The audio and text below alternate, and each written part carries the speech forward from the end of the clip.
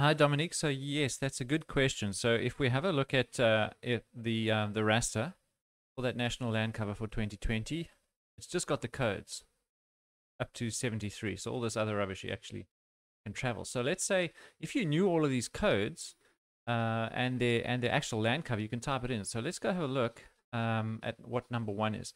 Now from that same site, that same location, I downloaded a PDF, it might have even come through with that data. And this PDF has got the actual codes and then the various land cover types. So looking at it here, let's go to number one. Okay, contiguous forest.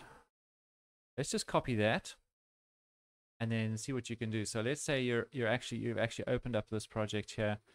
You can actually label these. So let's do this. Contiguous forest. Okay, so what I had done specifically for your tutorial was fill out all of the land uses uh, with the corresponding code. Okay, so for instance, uh, the other thing I might have done is just deleted all this other stuff. Relevant. And zero as well, I think. Okay, and then if we applied that, okay, then there is your code. Okay, so I had done that for, for all of the, the various codes. Now, what um, what you can do, because I don't expect you to do that um, uh, if you don't have to, because in the tutorial data for that tutorial, you can actually load a QML file, which is basically the, the, the layer style uh, template for this particular raster. So let me show you where that is. So if you go into your, if you add your national land cover raster and you just right click on it, go to properties, then you go to style, you're going to load style because I actually saved that QML style.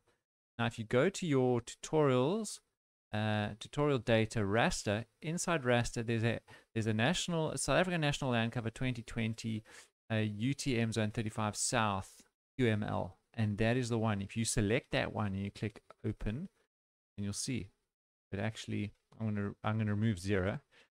Um it's actually all already punched out there. So what i did is i went in i created all these.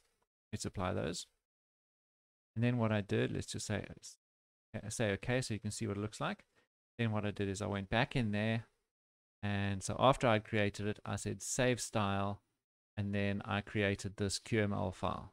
Okay, so that is why uh, in the tutorials it comes through with the land cover data and the code, whereas if you pull through the original, it just has the codes. Because I actually went in there and I added the created that QML file. So yeah, if you, you've still got that tutorial data, you'll be able to go and load those styles from that QML file and you'll be A for away. But that's how you do it if you do want to um, create QML files in future for vector or raster data. It's pretty simple either. Otherwise, that's it. Hope you come right with that. Let me know how it goes. Cheers.